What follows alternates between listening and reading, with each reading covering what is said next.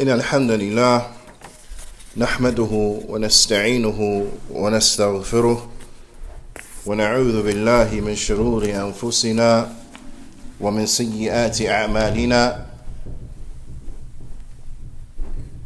من يهده الله فلا مضل له ومن يضلل فلا هادي له. أشهد أن لا إله إلا الله وحده لا شريك له وأشهد أن محمدا عبده ورسوله الناصح الأمين. اللهم صل على نبينا محمد وعلى آله وصحبه أجمعين ومن تمسك بسنته إلى يوم الدين. ثم أما بعد عن أبي رقية تميم بن أوس الداري رضي الله تعالى عنه أن النبي صلى الله عليه وسلم قال الدين النصيحة. قلنا لمن؟ قال لله ولكتابه ولرسوله ولأئمة المسلمين وعامتهم حديث صحيح رواه مسلم The Prophet صلى الله عليه وسلم as it comes in the hadith of Abu Ruqayya Tamim bin Aus ad-Dari that the Prophet صلى الله عليه وسلم he said verily the religion is an-nasiha now an-nasiha generally and typically is translated as good advice sincerity so on and so forth. And this enters into the meaning of an-nasiha. However, when we know the reality of what is meant and what is intended by an-nasiha, then we will better understand this narration. Ala kulli hal, when the Prophet he said that the deen, the religion is an-nasiha, they asked, the Sahaba, those who were present who heard this, they asked, Qunna liman, we said, to who? So the Prophet ﷺ, he said, to Allah, to his book, to the leaders of the Muslim, the Muslims, to Allah, to his book, to his messenger, to the leaders of the Muslims and to the common folk. So it was a nasiha to the five that were mentioned. So how do we understand what is nasiha? As a hadith that comes in Muslim. The, the, the ulama, they mention that haqiqatul nasiha shar'an, that the reality of nasiha in the legislation, qiyamun nasih, it is the establishment of the one who is giving this nasiha, the one who is exhibiting and displaying this nasiha, a min al-abd, qiyamul abd. It is the establishment of this of the servant, of the slave. Na'am, qiyamul abd, bima lughayrihi min haqqin. It is that the slave, he establishes the rights of other than him. That he establishes the rights of other than him. This is nasiha.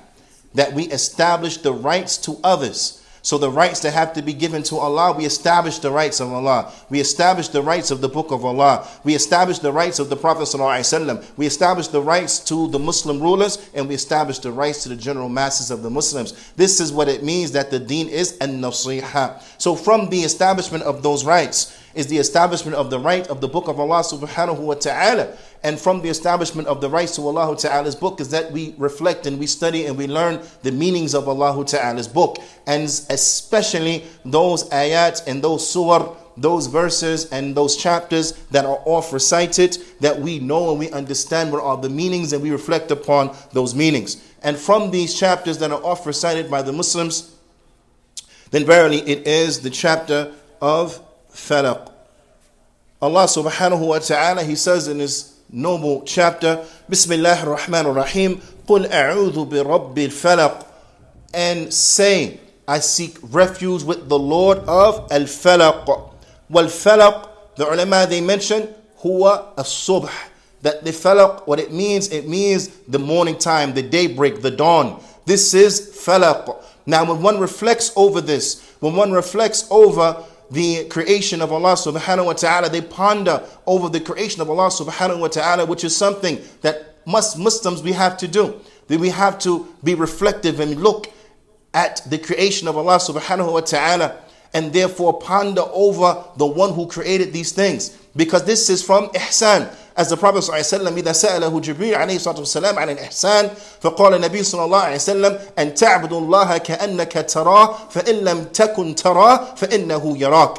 When Jibreel عليه الصلاة والسلام, he questioned the Prophet صلى الله عليه وسلم about ihsan. The Prophet صلى الله عليه وسلم, he said, it is to worship Allah as if you see Him. and if you do not see Him, then verily He sees you. The ulama, they explain and they mention that the Prophet ﷺ, in explaining ihsan, he showed us two levels of ihsan. And the first of them is that he mentioned was mushahada and ta'budullah ka'annaka tara to worship Allah as if you see him. This is mushahada. What does that mean? That means that when you look at the likes in this example of the daybreak of the dawn, the sun as it's coming over the horizon, the beautiful colors that are present inside of the sky, so on and so forth, that in the splendor, in the beauty of that, it reminds you of the power and the might of Allah subhanahu wa ta'ala. It reminds you of the tawheed of Allah subhanahu wa ta'ala. That Allah ta'ala, He is the one who created this sun. He is the one who created this earth. He is the one who created the sky. He is the one who created these beautiful colors. Allah subhanahu wa ta'ala, He is the one who has set these things into motion. Then looking at this, it reminds you of Allah subhanahu wa ta'ala. It reminds you of La ilaha illallah. And therefore, and as such, when we seek refuge, we seek refuge in Allah subhanahu wa ta'ala. All of the ibadah belongs into Allah subhanahu wa ta'ala. So when one reflects at the beauty of the sunset or the sunrise, then it leads them to one conclusion, and that is La ilaha illallah, that none has the right to be worshipped in the truth except Allah. So therefore it is only befitting that what? That we seek refuge in the all-powerful, almighty, all-wise creator Allah subhanahu wa ta'ala.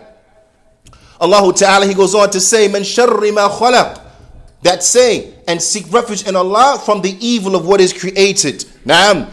The ulama, they mention, Al-Hafiz ibn Kathir, he mentions, a من شر جميع المخلوقات from the evil of all created things that we seek refuge in Allah from the evil of all created things والمن العلماء مثل حسن البصري وغيره they mention that what is meant by this is that we seek refuge in Allah subhanahu wa ta'ala from Jahannam wa Iblis wa dhurriyatuhu is that we seek refuge in Allah subhanahu wa ta'ala from the hellfire from Iblis the shaitan and from his progeny the shayateen the evil jinn that we seek refuge in Allah subhanahu wa ta'ala from their evil Ya ibadallah when we reflect and we look at the likes of this we see something that is tremendous. We see something that we need, and that is that we are constantly connecting ourselves unto Allah subhanahu wa ta'ala, asking Allah ta'ala for those things in which we desire, and seeking refuge in Allah from those things in which we fear,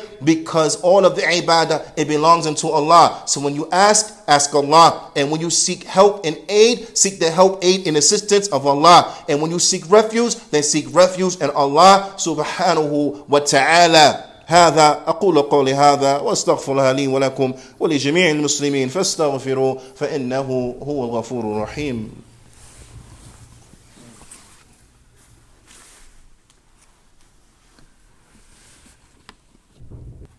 بسم الله والحمد لله والصلاة والسلام على رسول الله وبعد. الحمد لله على نعمة الإسلام والسنة. All praise and thanks belong to Allah for guiding us to Islam and for guiding us to the Sunnah. Allah Ta'ala, He goes on in this tremendous chapter to show us that which in which we are to be seeking refuge from.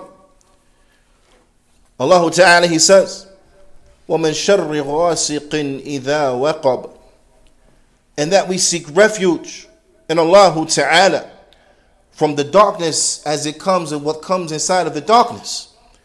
The ulama, they mention, قال مجاهد غاسق غاسق الليل إذا وقب غروب الشمس that what is meant by غاسق it means the nighttime the darkness of the nighttime when the sun has departed the darkness of the nighttime when the sun has departed because it gets dark when the sun goes down and when it gets dark different things start to happen there is a potential for different type of harm whether that harm comes from the human beings who take advantage of the darkness and they exploit this darkness and they cause trouble and problem to human beings by robbing them, by stealing them, by burglarizing their houses and their properties and so on and so forth. Things that they wouldn't do in broad daylight, but now they do it under the shade and veil of night.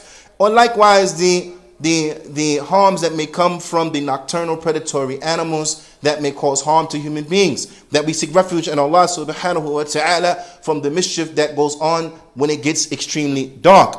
وقال and the ulama they mention as it has come on Abu Hurairah radiallahu ta'ala anhu that what is intended by this is a kawkab, meaning that when the stars are dark, meaning that those early nights during the month or those later nights in the month where the moon it wanes and it's very dark outside so much so that there is very little light that's coming from the moon nor from the stars where it's extremely dark. The most darkest nights during the the, the month that we seek refuge in Allah subhanahu wa ta'ala from the dark from the dark and what takes place during the dark at the darkest times of night now because there is a mischief as aforementioned that it happens therein not like what happens in broad daylight.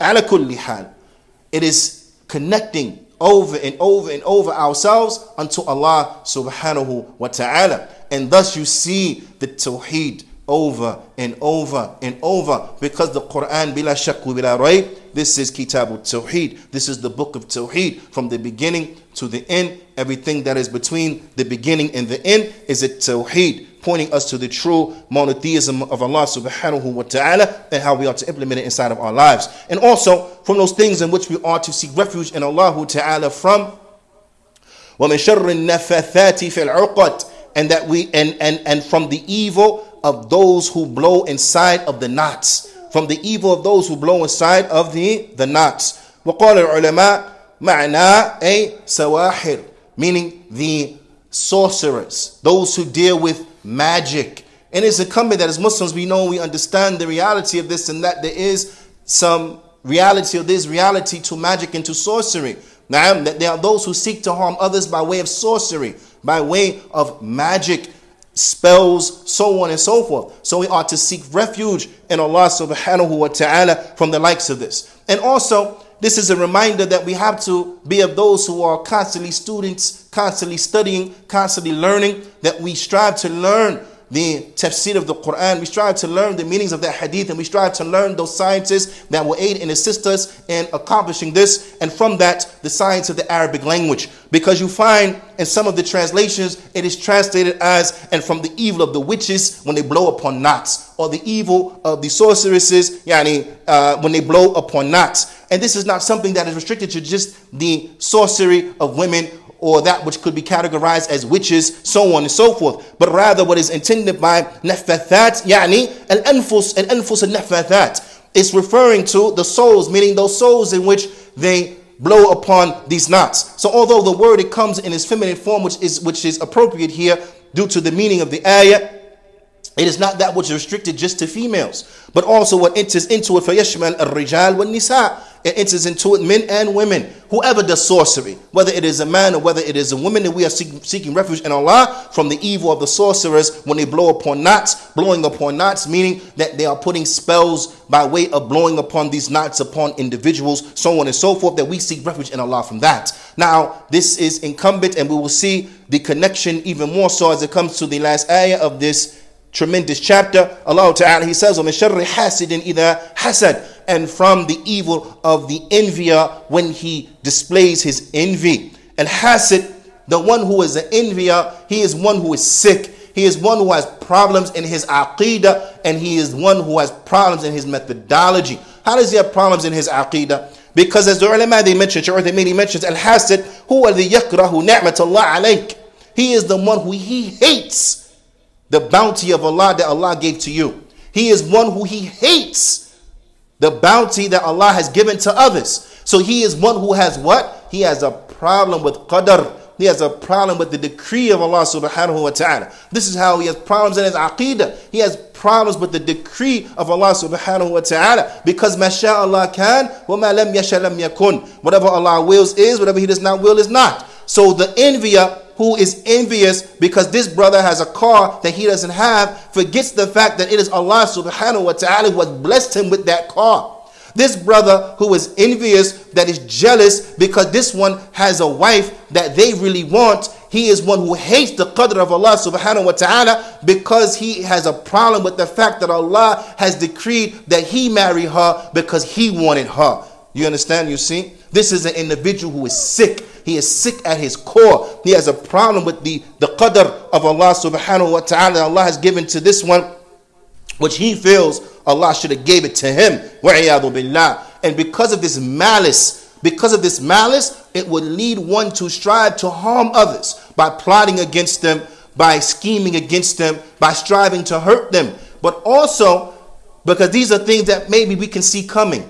Now, a person's plots, a person's evil words, a person's bad disposition. We can see it coming. You understand? But there's also an evil that possibly may emanate from the likes of these individuals. In this, you will see the, the connection with the aforementioned ayah that we maybe we won't see it coming. And that is, as the ulama they explain, also from the from from from the evils of the hasid of the one who is envious is the shar of his ayn, eh? al ayn, the evil eye. They may put the evil eye upon someone, and the evil eye is true. The evil eye is true, and we know the evil eye is true, and its effects are true. The evil eye could affect any one of us, whether it be ill things that happen to us in our bodies because a person gets sick or they may die, or whether it be because of things that may happen to our property. Now my property gets damaged, it gets lost, it gets yani, whatever the case may be, we lose it, so on and so forth. Because the one who is envious, not only does he hate the fact that you have what he wants, but he wants you to lose it. It's not that he appreciates what you have and say, MashaAllah, you know, Alhamdulillah. No, he wants you to lose it. So if he's envious because of you're married to your wife, he wants you to divorce her. He wants that situation to be destroyed. Likewise, for those women who are envious because they are loving of men who are not belonging to them, they want the marriage to, to, to being ruined. They want they want to destroy the relationship.